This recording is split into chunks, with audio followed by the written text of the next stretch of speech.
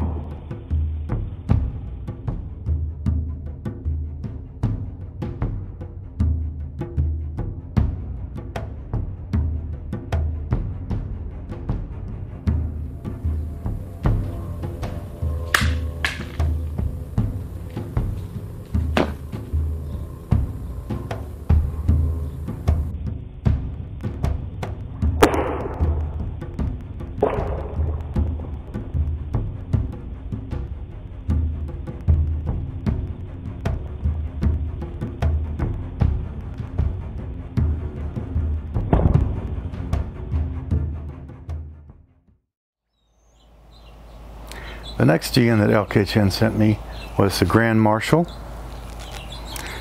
This is an example of an early Ming Dynasty Jian. Uh, the LK Chen website states that the robust blade is balanced by an equally robust handguard and pommel, resulting in an authoritative yet lively sword. And I definitely agree with that description. Uh, this Jian delivers powerful cuts uh, and is very smooth transitioning from cut to cut. Um, the blade is 29 and a half inches long. The sword weighs 2 pounds 7 ounces and balances at 3 inches from the guard, so a little closer to the guard. So let's watch that cutting video that I made for the LK Chen Grand Marshal Jian.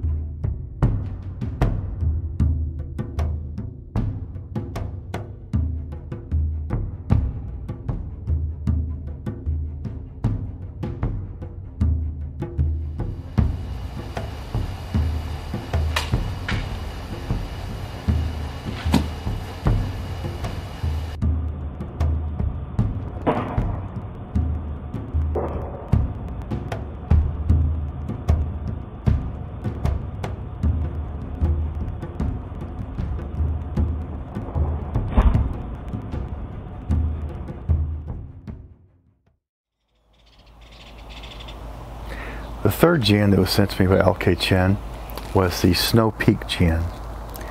The LK Chen website describes this as being created in the late 19th and early 20th century with both Chinese and European aesthetics and features during a time when martial arts were transitioning from battlefield application to the development of the practitioner.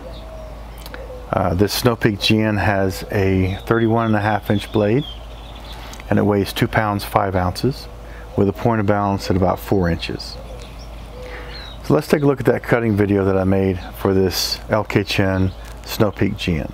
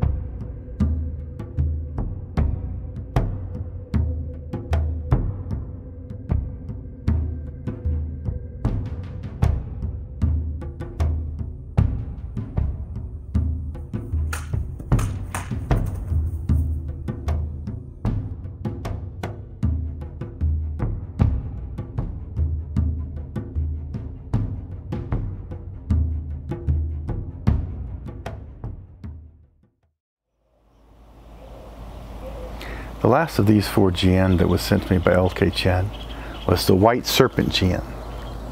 It is by far the lightest and fastest of the four Jian. Uh, it's another Ming Dynasty Jian that is very, very ornate, suited for nobility or high-ranking ministers. Um, the GN has a 30 and one half inch blade.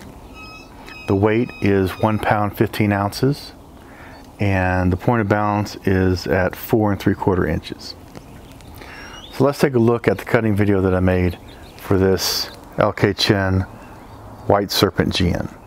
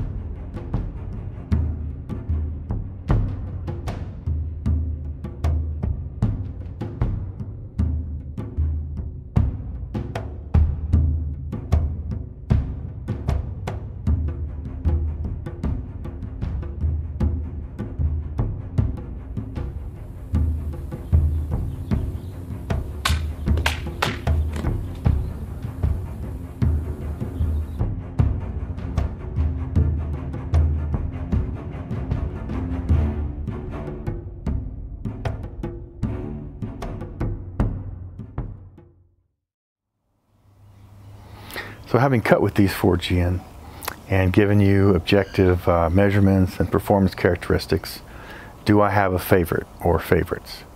Uh, yes, I do. Yeah, the uh, the first Jian that was sent to me, the Gale Wind, uh, is my favorite. Um, it handles and cuts very well. Um, one caveat there, though, is, is as I mentioned at the beginning, this is very typical of Jian that, that we train with um, in Chinese martial arts. Uh, it's what I'm accustomed to using, so I could be influenced by that. Um, a close second is the Grand Marshal. I was surprised by that sword. I didn't know what to expect with that sword, but uh, it was very, very smooth through the cuts, very powerful. Um, the White Serpent was fun to cut with, uh, very light and very beautiful sword, very ornate. But I sometimes found myself missing the authority in the cut that I had with the uh, heavier Jian. And um, the Snow Peak would probably be my least favorite. Um, I think it may suffer from from its genesis as a recreation, a later recreation for martial arts rather than a battlefield weapon. Um, I didn't find that it cut as well. It did cut a, a, mat as you saw on the video, but it doesn't cut as well as the other 3 Jian. I appreciate LK Chen sending me these swords for review, so thank you LK. Um, and I appreciate you who are watching this video, especially those of you who are subscribed. Uh, we just recently reached 2,000 subscribers, so thank you. I hope you found this comparison review helpful. I hope you enjoyed it, and thank you very much for watching.